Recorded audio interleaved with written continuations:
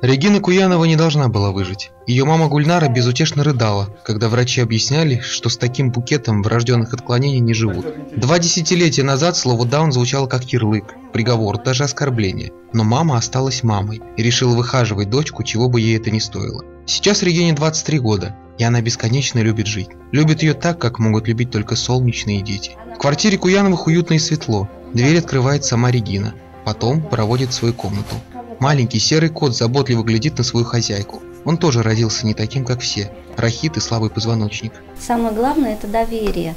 Нужно все прямо с детства воспитывать так, как обычно. И не надо уделять, что там она, что инвалид. Это вообще вот не надо делать. Она и в школу ходила, в садик ходила, все нормально. Ну, школу спецшколу она ходила.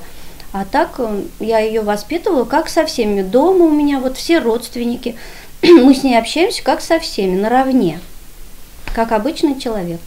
Регина аккуратно достает с полки свои книжки и показывает их обложки. Большие, иллюстрированные, про сокровища и сказочные миры. Большую часть времени она проводит в этих сказочных мирах, где зло всегда оказывается побеждено, а добру служит волшебство. Регина, кажется, сама сошла со страниц романа об этом лучшем мире. Нет в ней не только цинизма, жестокости, нет зла. Она ходит э, со мной, мы в бассейн ходим, в поликлинику вот с ней. Я просто, когда 4 дня работаю, она уже, конечно, никуда не ходит, ходит на йогу вот. Йога три раза в неделю ходит заниматься. Мне нравится, что она ходит туда.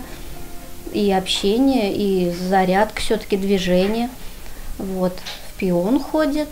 И дома с братиком она вот что еще? На коньках мы с ней катаемся, на лыжах. Полноценные активные. Да, конечно. Когда мы куда-то идем, обязательно мы все вместе, всей семьей идем. Помимо мира книг и многочисленных увлечений, в жизни Регины есть мир интернета и мультфильмов. Пользоваться ноутбуком она научилась сама, печатать тоже. Вот только социальные сети не выходят. Нечего, говорит, там делать. Сказки лучше.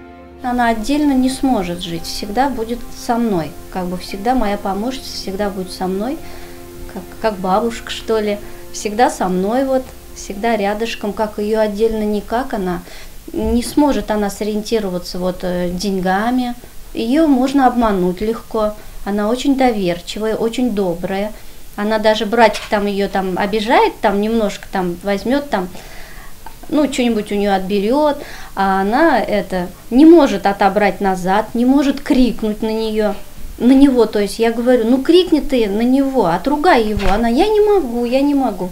Она никак не может громко вот крикнуть не может. Плохое не может делать, только доброе. Регина прощается с нами и улыбается. Улыбается той самой, обнимающей весь мир улыбкой. От чего то становится стыдно. Этот маленький человечек с маленьким серым котом в руках лучше каждого из нас. Регина улыбается, и хочется, чтобы эту улыбку увидел каждый.